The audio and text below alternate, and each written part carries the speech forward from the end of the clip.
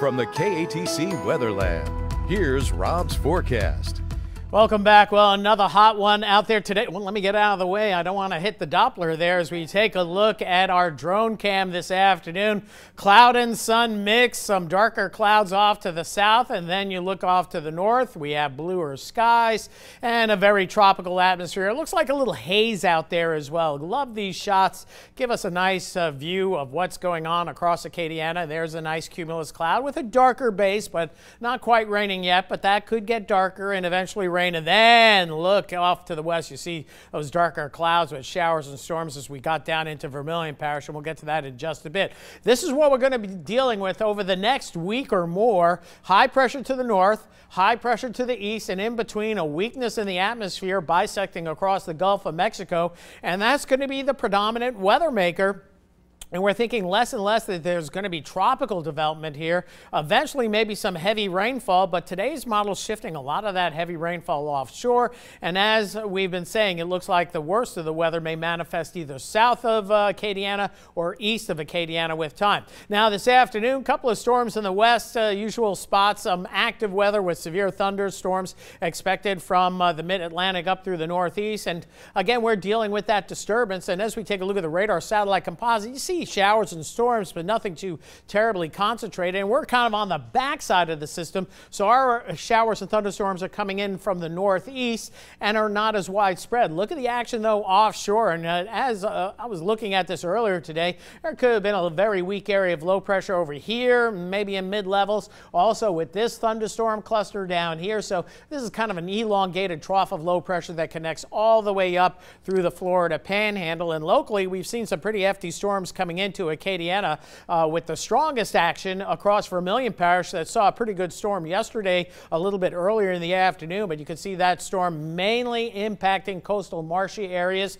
will impact uh, Pecan Island and Grand Chenier with time, so be on the lookout. A lot of cloud to ground lightning with this cell, and we did see uh, even a little bit in the way of rotation with this as we take a look at our storm tracking here, and we'll bring it down. Right now it's just showing uh, the possibility of some hail, uh, but strong and gusty gusty winds, maybe a little hail with this cell that's up in northern Jeff Davis Parish, uh, just south of Kinder, and a couple of other uh, cells that we're seeing. But uh, there's a close uh, zoomed in look of that. That's a strong thunderstorm with a lot of cloud to ground lightning showing up. Scattered activity as we get further inland where people live. You can see the activity in Jeff Davis Parish. Activity should diminish as we lose that daytime heating and our tropical system or potential tropical system, uh, the risk of it developing even lower today down at 20 percent but the rainfall could be a main threat. And as we take a look at the European model moisture, GFS looks a little bit wetter, but yeah, we see a lot of red across the area, but nothing that is super deep tropical moisture,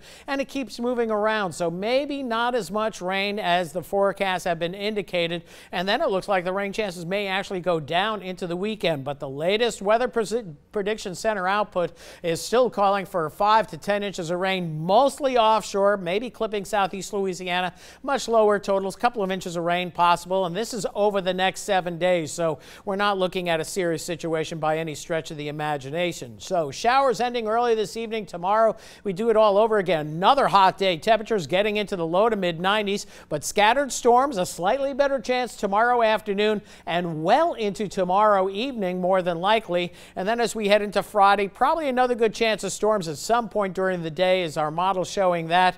And then again, again, day's not a washout, but there'll be a couple of hour periods where things kind of shut down because shower and thunderstorm activity. Overnight tonight, showers end early. Look for a full buck supermoon tonight. It's officially full after about midnight. And then for tomorrow, we're going to see another partly cloudy, hot and humid day with scattered afternoon showers and storms. 93 the high. Heat index back up to 93. And here come the rains during the course of the afternoon, showing up nicely on our TrueView forecast. And you can see how those clouds thicken up later in the day into the early evening hours. So moving forward, I got our highest rain chances Thursday, but again, none of these days are washouts. Rain chances bouncing between 40 to 60% through much of next week as well. Just slightly better than normal rain chances with the heat and humidity continuing. That's it for weather for right now. We're going to have more coming up right after the break.